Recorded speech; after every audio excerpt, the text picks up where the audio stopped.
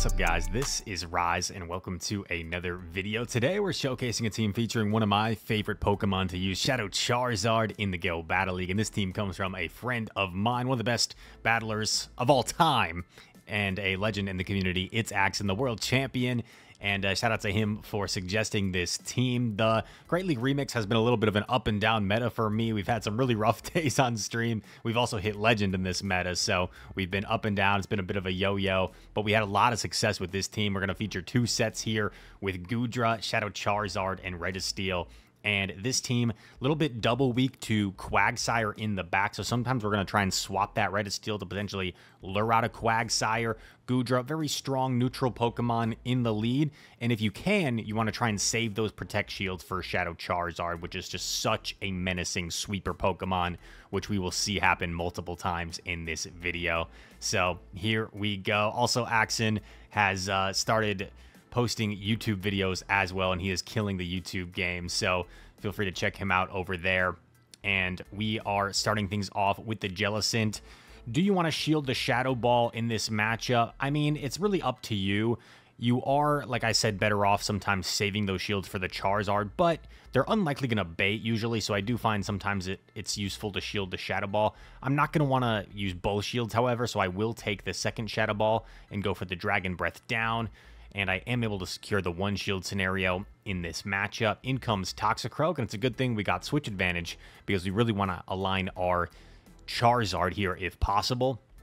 Charizard comes in, they immediately swap into Gligar. I am going to actually try to go to the Blast Burn. I'm debating whether I want to shield here or not, and I do decide to shield the Aerial-Ace. And I'm going to build up, I'm going to bait the Blast Burn decide to go for it, the Dragon Claw instead. The opponent makes a terrific call, calls the bait. We're going to try and get the final shield here with the Dragon Claw. And we do get that shield. I do one wing attack, trying to catch an Aerial-Ace. I'm unsuccessful. But now the Gligar's in a weird position, right? Because Aerial-Ace is obviously not enough. They're going to have to expend both digs here.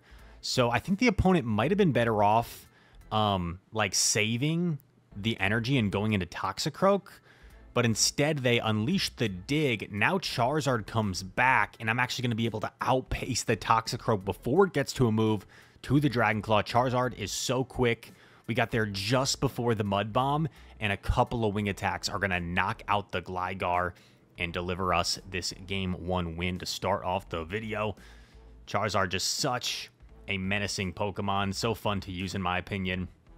Those high attack Pokemon can be more difficult to use because they require a little bit more care. um, they're, you have to be more careful with where you expend those shields. Sometimes you have a little bit less time to react because your health goes by so fast, but they can be so dangerous. Here we see Mandibuzz in the lead. I would say a slightly favorable matchup for the Goodra because of that Thunder Punch coverage, but a pretty neutral matchup. They swap Ferrothorn. Now, should I have swapped Registeel here? Maybe, but the opponent doesn't have Thunder. They're running Mirror Shots. This is amazing for us. If they had Thunder, I probably would have had to go down a Shield here to respect it. But Mirror Shot, they actually didn't even bother building up to the Thunder. So maybe they could have built up to it just to threaten it. I'm going to go up all the way to 100 energy, go for the Blast Burn here. They let it go. Charizard has so much energy here to threaten whatever comes in. They come in with Mandibuzz. I do four wing attacks. Building up this energy. Blast Burn is so threatening here. Look at that. Oh, actually, it got a shield. I was about to say, look at that damage, but no, it got a shield instead. They are going to go for an Aerial-Ace, and it does knock out. I was hoping maybe I would hang on, but no, Aerial-Ace still knocks out. Now, normally you'd come in Registeel here, but the fact that they swapped out earlier led me to believe maybe they have another Goodra answer in the back, like another Steel type. So I actually came in with Goodra here, and I shield to preserve it. I'm going to throw the Thunder Punch here. This is going to hopefully connect onto Mandibuzz.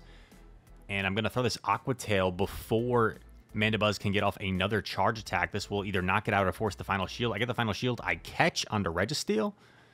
This way I keep Goodra around in case it's viable against whatever's in the back. Registeel up a shield against Magnezone, and this should be smooth sailing. Because it's a non-shadow Magnezone, I figure I can withstand a wild charge no problem. So I don't bother shielding. If it was a shadow, maybe I would have respected it with a shield there.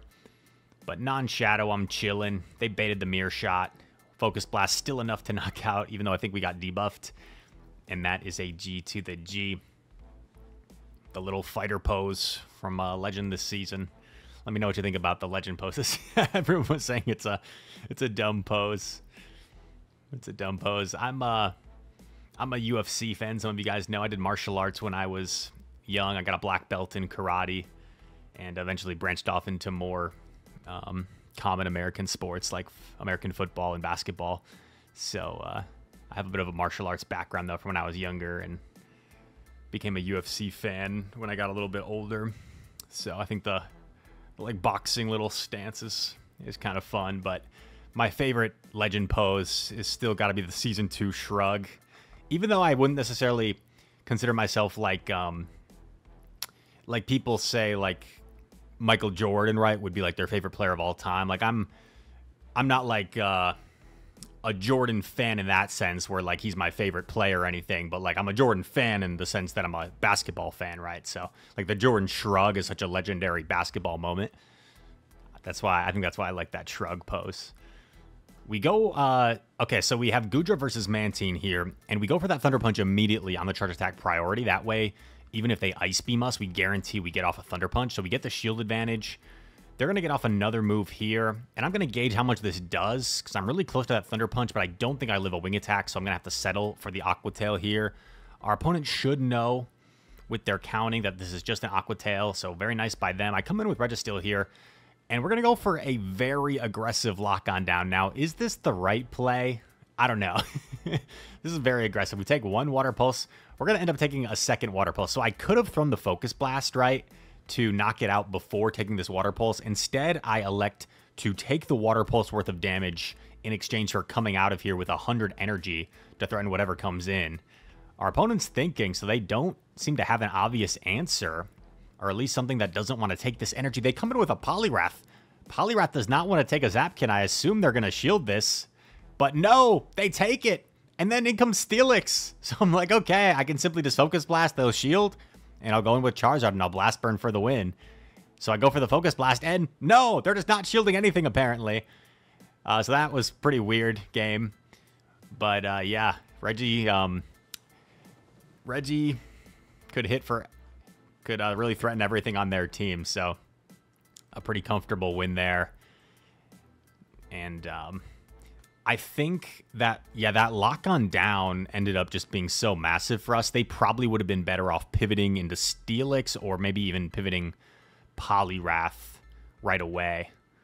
So we get a 4-1 set there, I think.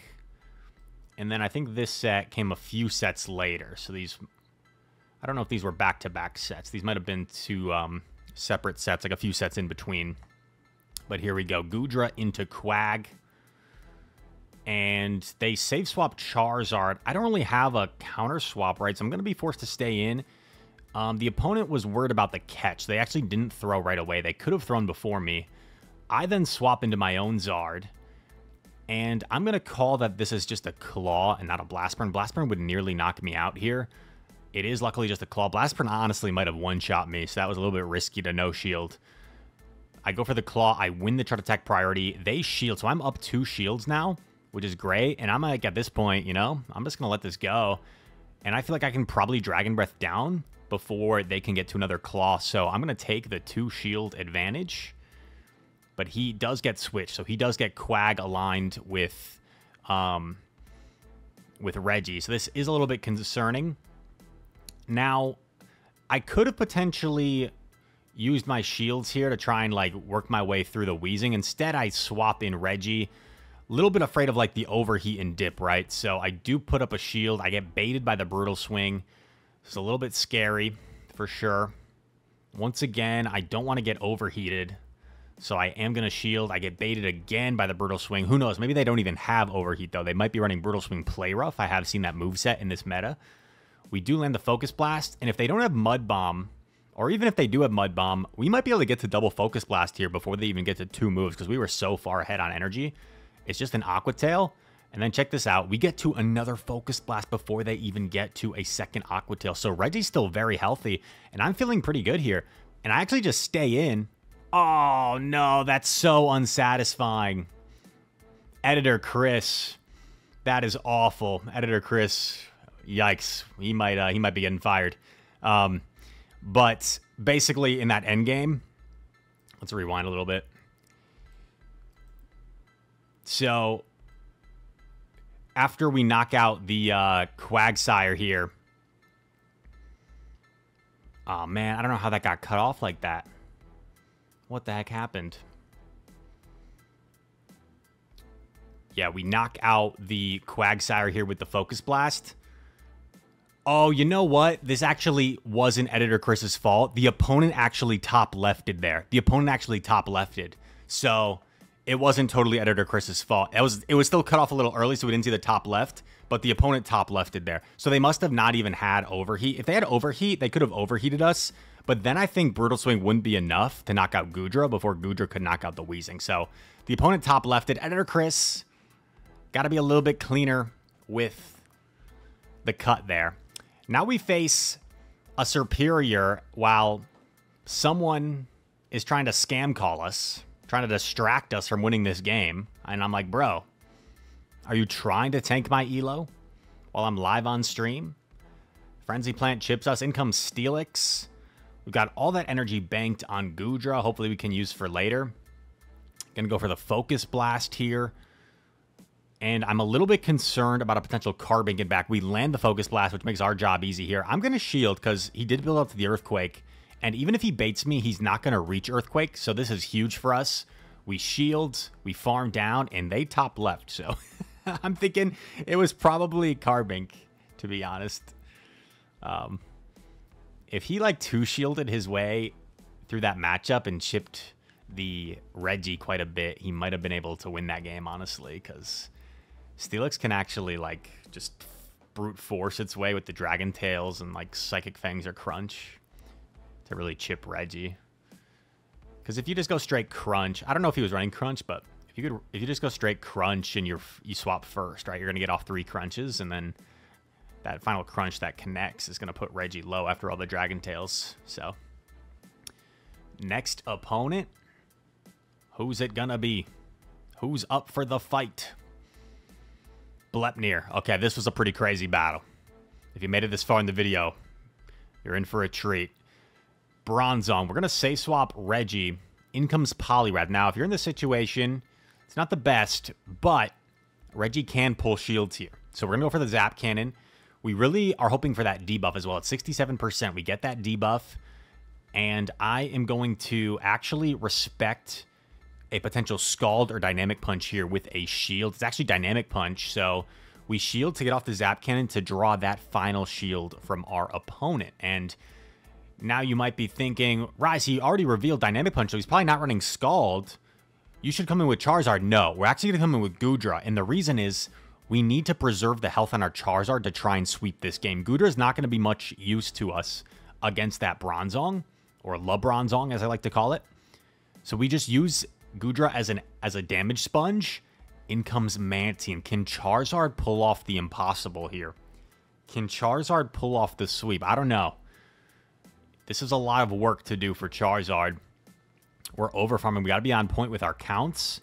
We can do three wing attacks here before Mantine reaches another Aerial Ace. We throw on the charge attack priority. We're going to throw the Dragon Claw here. This should be enough to knock out kind of lost track of where Polly was, to be honest, in terms of how much I could overfarm here. So I do three. Looks like I could have probably done one more. But we throw Dragon Claw here.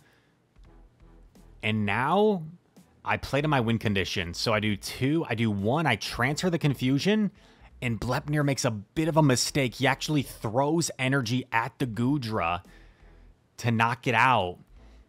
And this allows me to do one wing attack and reach the blast burn before the confusion damage registers. So definitely a bit of a game I'm sure Blepnir wishes he could have back. He definitely had me there. We got lucky. We played to our win condition and Charizard was able to find a way to win. Blepnir's a hilarious um, streamer. I recommend you go follow him. He always does his battles on the treadmill. And uh, if you're looking to burn calories, get exercise, I mean, that's a great way, honestly. Take your mind off the... Uh, off the walking. Do some GBL on the treadmill or while you're walking outside. I could totally see myself though if I was doing GBL outside. Like, I do go for walks pretty uh, frequently at the moment. Um, if I was doing GBL though, I could definitely see myself like walking into somebody. All right, Goodra into Swampert, positive lead, and this is where we want to see the Swampert.